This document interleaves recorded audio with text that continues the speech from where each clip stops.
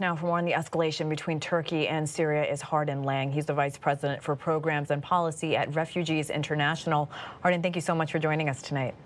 It's good to be here. Thank you. Russia has denied any involvement, but has been lending Syria air support for years now. What does Russia have to gain? Well, I mean, to begin with, Russia denying involvement of this uh, is it's almost laughable.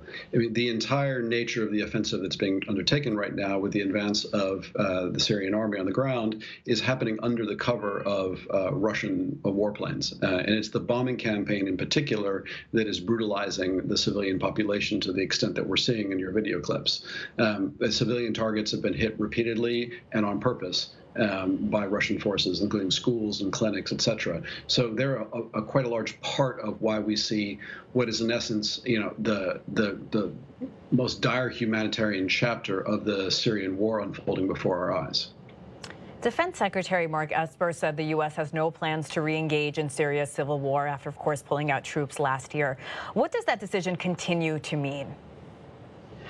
Well, for one thing, it means that the United States doesn't have the level of diplomatic leverage that it could at the table today. Um, when the United States was uh, present in a significant level in northeast Syria, it had uh, greater political leverage at the table with respect to the final political solution in Syria moving forward.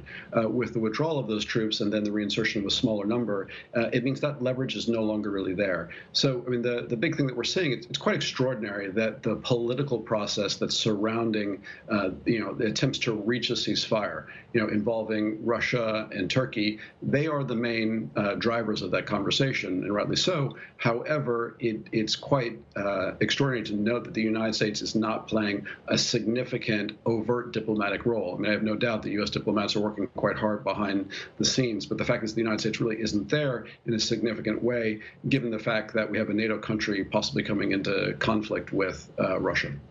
You know, we're looking at these heartbreaking images. The fighting has forced nearly 1 million people out of the area, creating what the United Nations and you as well calls a humanitarian crisis. Is there an end in sight here?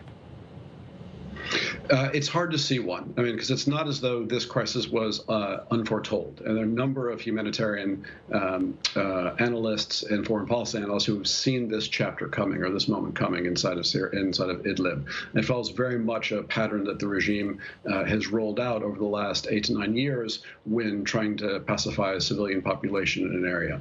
So uh, if we don't see a significant uh, move diplomatically or even potentially militarily to stop this advance, it's hard to see how this stops.